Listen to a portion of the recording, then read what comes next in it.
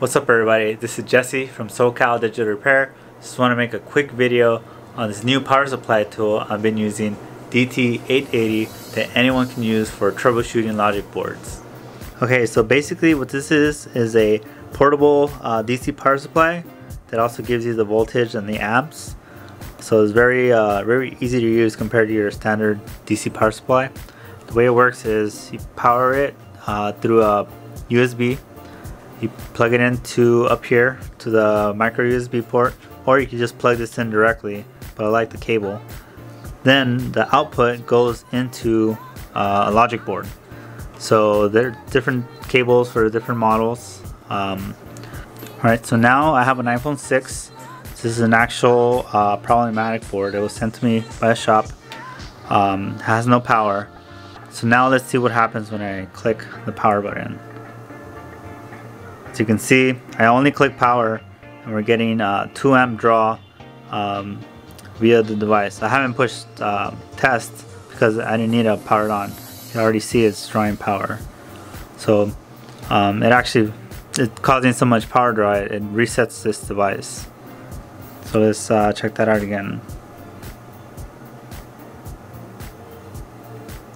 So you can see that that is not normal. So let's see maybe I could show you an example. Now let me show you what we can even do with this tool. So using some compressed air you spray it upside down on the logic board. Just, and then you click power. So now we get the power draw. And then we can take a look to see what gets hot.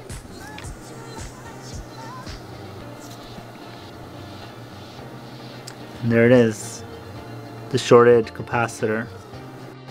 Okay, so I've actually removed the shorted capacitor from the board, so it should be fixed now. So as you can see, it's pretty simple to use. You just plug it in to the board.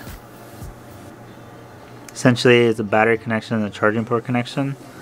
And then now let's see what happens. When I click power, nothing happens. You get the 4 volts, but you get 0 amps. Now that's good. So now if you click test, this prompts to boot Let's see if it looks like it's booting. Okay. Yep, there it goes, going higher. So it should be good. Let me attach the screen real quick. Okay, so now I have a screen attached. And then, oh, let's see what happens. So we click power. So it's sitting at zero amps and we click test to turn it on and we should see an Apple logo. There you go. So as you noticed, um, this whole time I didn't have a screen attached and um, I, I, feel like this number tells you a lot more uh, about the device behavior than having a screen attached. Of course, the screen will tell you if it's working, but the numbers don't lie. So you can see the numbers are going up higher and higher and we should get a lock screen any second now.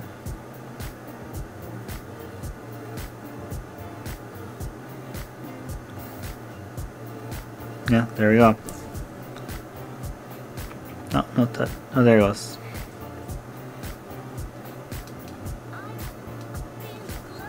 There we go. Device is working. And this uh, DT880 really helped us out. Alright, that's it. That was a quick overview of the DT880 DC power supply. It's very handy. I would highly recommend any repair shop has this. Uh, even if you don't do micro soldering or logic board uh, repairs, you'll right away tell if there's a problem. Um, anyone can use it. Just plug it in, power it on, and see what happens. I'll have a link down below in the description where to buy one. Uh, do you guys have any tools like this you like to use? Let me know in the comments. Uh, I'll check them out and maybe I'll make a video. I do plan on making more stuff like this, so sure we'll like your feedback. Alright, see you around.